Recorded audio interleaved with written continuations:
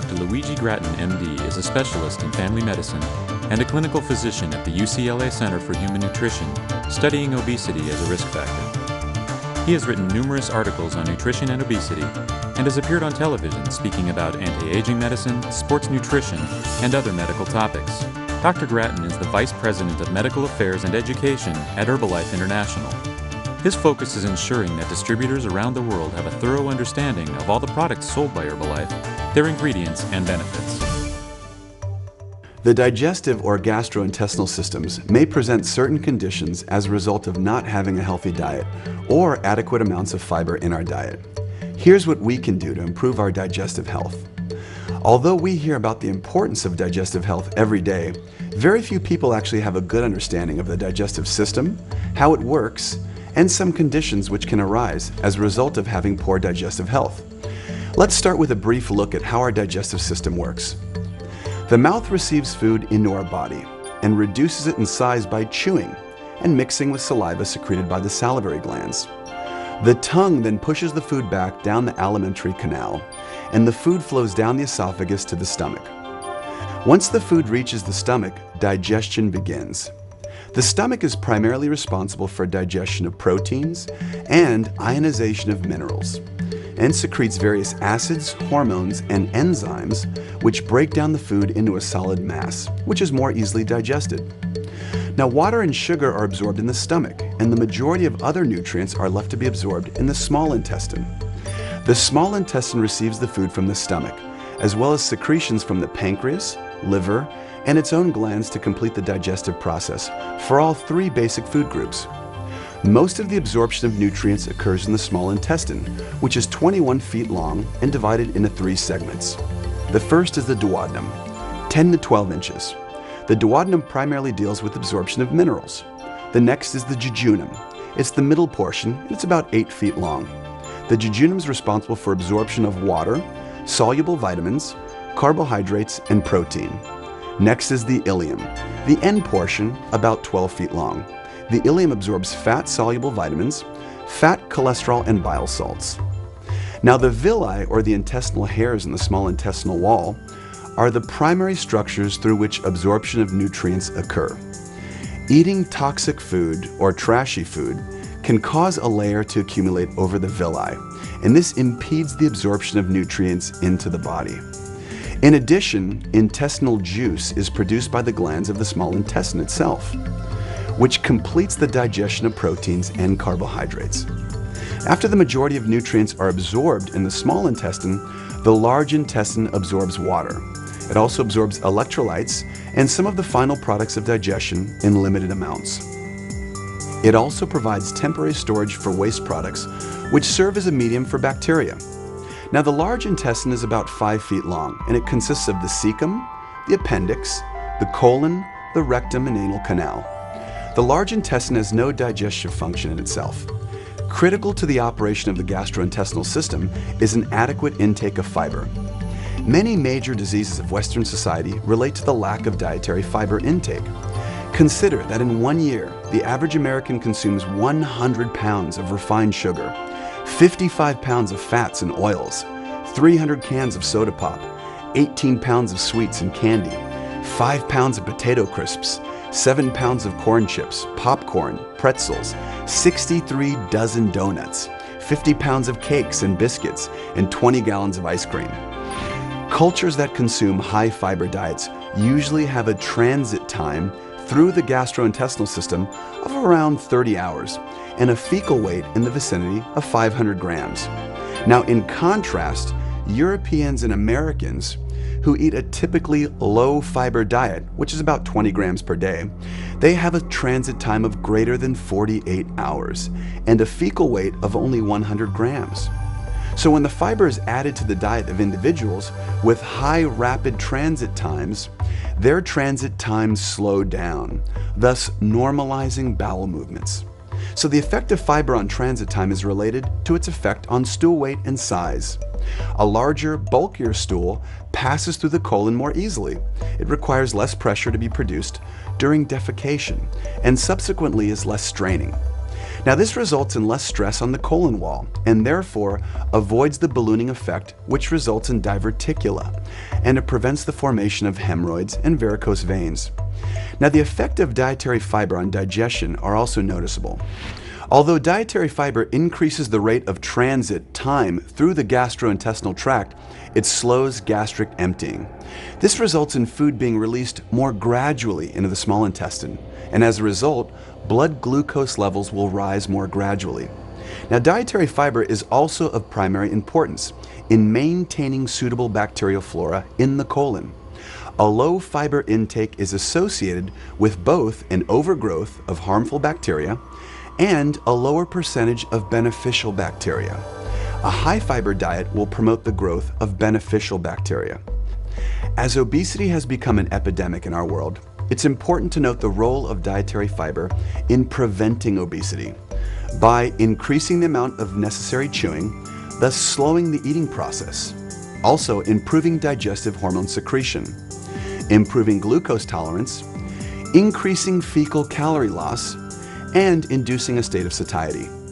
Herbalife's fiber products are an excellent supplement to your diet and will help your body realize the health benefits of having a high fiber diet, including helping you to control your weight. So now that we have a basic understanding of our gastrointestinal system and the importance of fiber in our diet, I'd like to now cover some of the conditions which can occur when we don't have an adequate intake of fiber in our diet. The main conditions are irritable bowel syndrome, or IBS, collapsed colon, megacolon, inflammatory bowel disease, which includes colitis and Crohn's disease, diverticulosis, and constipation. Irritable bowel syndrome, or IBS, is the most common gastrointestinal disorder reported to general practitioners.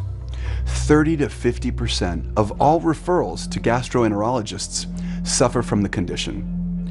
Estimates are that approximately 15% of the population have suffered from IBS, and that there are twice as many women sufferers as men. IBS is a condition which is a result of food accumulating in the intestine because it's not being digested properly or there's not proper bowel movement function. As a result, the food remains in the colon and rots. This leads to toxic chemicals being formed, getting absorbed into the body, and beginning to poison our systems. If enough fecal matter accumulates in the colon as a result of it not being eliminated from the body, a condition known as collapsed colon may develop. This is a condition which occurs when fecal matter is not eliminated from our digestive system on a regular basis. Its weight increases until eventually the increased weight causes the intestine to collapse. In falling, pressure is exerted on the organs that normally reside on the bottom part of the abdomen, creating complications with the bladder, prostate, and for women, the uterus and other female organs. The ensuing consequences are severe. In women, a collapsed colon can lead to the formation of cysts, infertility, and several other serious conditions. In men, problems can arise with the prostate, a decrease in fertility, and a decrease in sexual desire. IBS can also give rise to a condition known as megacolon, as more and more materials accumulate in the colon as a result of IBS. Given that the colon has the ability to expand up to five times its regular size, the size of the colon can increase dramatically. Now, you've seen pictures of people with very big stomachs and, in comparison, very thin legs. Well, this is possibly the condition they're suffering from. In addition, the toxic substances which accumulate in our colon can contribute to becoming obese by depleting the body of energy. Now, toxins build up in the colon can slow down our body's metabolism, and at the same time, they slow down our cellular metabolism, overcharging the organs and the glands. This results in a slower metabolism, not burning as many calories, and leading to an inevitable increase in weight. Again, merely cleansing the colon will greatly improve the metabolism and eliminate a major cause for gaining weight. Now let's talk about inflammatory bowel disease, or IBD.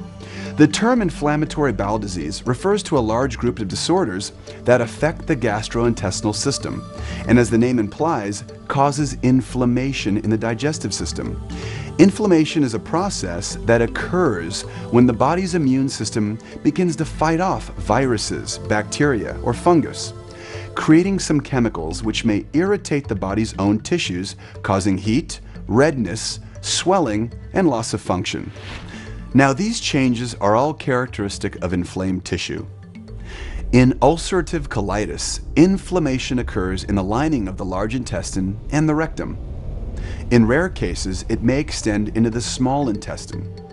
But in most cases, however, the small intestine remains normal. There is strong evidence suggesting that dietary factors are the most probable cause for this disease. Ulcerative colitis and Crohn's disease are two common forms of IBD. Ulcerative colitis occurs only in the lining of the intestine, while the damage caused by Crohn's disease can extend to all layers of the intestinal wall. The inflammation associated with ulcerative colitis can eventually cause portions of the intestinal lining to peel off, exposing open pits or ulcerations which can easily become infected. Ulcerative colitis occurs in all age groups and affects men and women equally, although the most common age of diagnosis is between 15 and 35 years of age. Another serious condition which develops as a result of not having enough fiber in your diet is diverticulosis. Diverticulosis is a condition where pockets or pouches form in the large intestine. The large intestine is a long tube-like structure that stores and eliminates waste material. During normal lower intestinal function, the waste material is slowly pushed along the large intestine to the rectum by the muscular bands in the colon. As a person ages, this continuous pressure can cause a bulging pocket of tissue or a sac called a diverticulum that pushes out from the colon wall. More than one sac is called diverticula. The condition of having diverticula in the large intestine is called diverticulosis. When a diverticulum ruptures or becomes infected, this condition is called diverticulitis. Diverticulitis develops when a mass of hardened waste matter forms in the pouch and reduces the blood supply to the thin walls of the pouch, making them susceptible to infection by the bacteria of the colon. It's estimated that 30% of all people over the age of 45 have diverticulosis. At the age of 60, 50% of all people will develop this condition. And by the age of 85, 65% of all people will have diverticulosis. Researchers believe that diverticulosis may be age-related, but most importantly, it's caused by a lack of fiber in the diet. A diet low in fiber can lead to small, hard stools that are difficult to pass and require more pressure to push them through the large intestine. Over time, these vigorous contractions in the large intestine push the inner intestinal lining outward, causing diverticula. Now, the last condition we'll discuss is constipation. Constipation is an acute or chronic condition in which bowel movements occur less often than usual, or consist of hard, dry stools that are painful or difficult to pass. However, constipation is a relative term, with normal patterns of bowel movements varying widely from person to person. Now, the colon absorbs water while forming waste products from digested food. Muscle contractions in the colon are called peristalsis. This process of peristalsis pushes the stool toward the rectum. By the time the stool reaches the rectum, it's solid because most of the water has been absorbed.